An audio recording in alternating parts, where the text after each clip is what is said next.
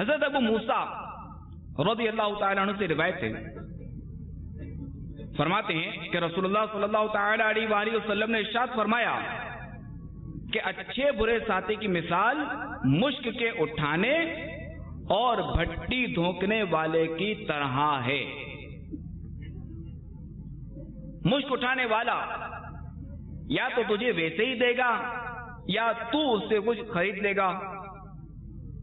اور یا تو اس سے اچھی خوشبو پائے گا۔